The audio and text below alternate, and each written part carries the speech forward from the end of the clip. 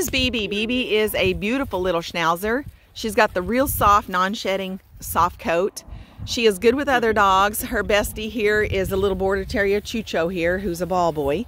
And then we've got um, this little puppy, which, um, oh, look at him. Isn't he cute? He does have a ridge. Look. He does Yeah, have a ridge, he guys. Have a ridge. He has a ridge. Oh my goodness.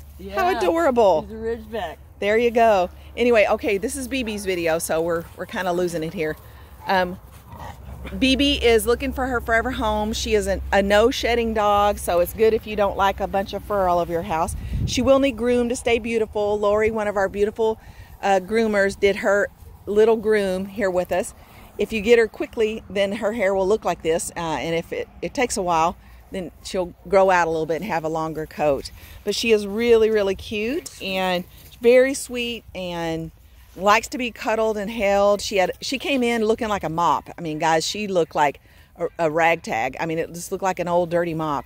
And Lori made a beautiful little dog out of her, and she is so cute. She's looking for her forever home. She can be adopted locally in Texas, which is where she is, or we can work with one of the wonderful transporters to get Bebe to Washington, Portland, Minnesota, Wisconsin, Vermont, or all along the East Coast. If you'd like to adopt Bebe or Choo Choo, contact CCPAL for an application. This, this video is for Bebe, which is right here. This is Bebe, our little schnauzer. Bebe.